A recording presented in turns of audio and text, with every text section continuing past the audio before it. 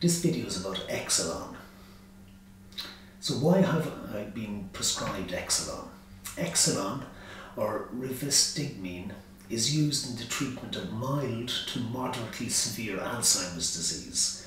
This medicine helps to slow the progression of Alzheimer's disease. So how does it work? Exelon raises the levels of a chemical in the brain called acetylcholine, which is known to be lowered in Alzheimer's patients. So when and how do I take it? Exelon should be taken twice a day with morning and evening meals.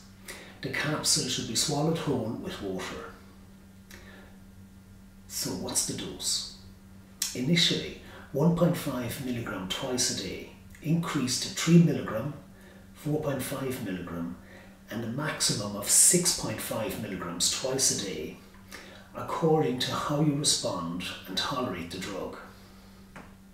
Could they interact with other tablets?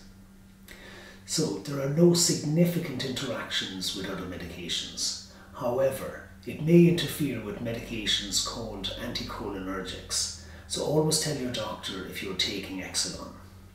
Herbal supplements should be used with caution and only after informing your doctor first. So what are the possible risks or side effects?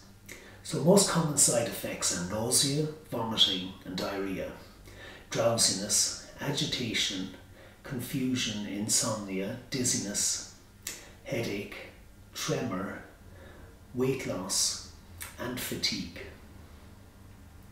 So can I drink alcohol while taking Exelon? Patients taking Exelon should not consume alcohol because the combination may increase sedation and drowsiness. Moreover, the sedative effects of alcohol may act as a depressant, obscuring the therapeutic effects of Exelon and complicating treatment. So what if I'm pregnant or breastfeeding? Exelon should not be used in pregnancy unless clearly necessary.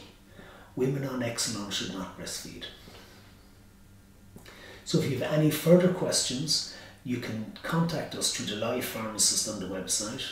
You can email us or just call into the pharmacy here in Broaddale in Douglas in Cork.